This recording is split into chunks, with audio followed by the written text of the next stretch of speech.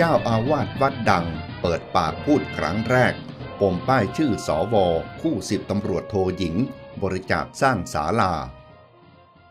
วันที่ 30 สิงหาคม 2565 เวลา 22นาฬิกา33 นาที มติชนออนไลน์รายงานว่า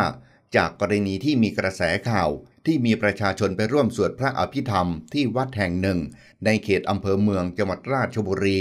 ขณะนั่งฟังสวดพระอภิธรรมอยู่นั้น ได้พบป้ายข้อความการบริจาคเงิน เพื่อสร้างศาลาวัดที่อยู่ใกล้กับเมน โดยได้สร้างเสร็จเมื่อไม่นานมานี้ สังเกตจากสภาพการก่อสร้างยังเป็นอาคารที่ทาสีใหม่ชั้นเดียว มีบันไดทางขึ้นลง มีประตูเหล็กเลื่อนขึ้นลงได้ทุกด้าน ถูกปิดไว้ เพราะงานเพิ่งจะเสร็จสิ้นไปในป้ายปรากฏชื่อบุคคลที่เป็นสวอักษรนำหน้าทอธง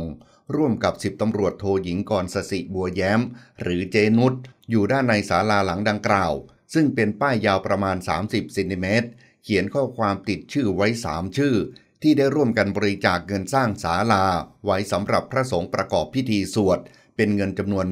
120,000 บาท และยังมีรายนามผู้บริจาคของคนอื่น ๆ ที่มีจิตศรัทธาร่วมทำบุญสร้างศาลาหลังนี้ร่วมด้วย จึงเป็นที่มาของสอวอที่ถูกพูดถึงดังกล่าว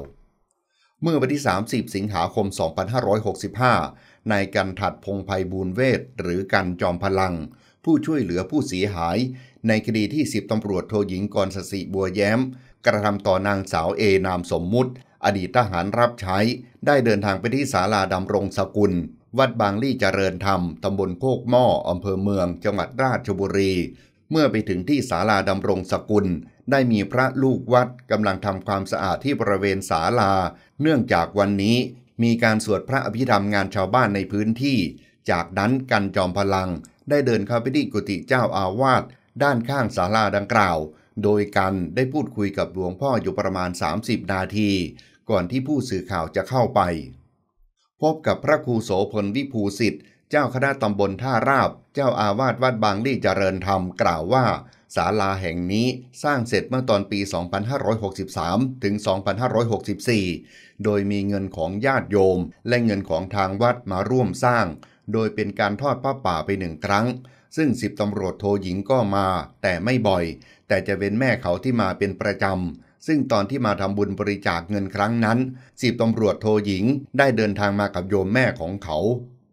ซึ่งการที่เขียนชื่อลงไปนั้น ก็ต้องอยู่ที่เจ้าภาพว่าต้องการให้ใส่ชื่อใครลงไป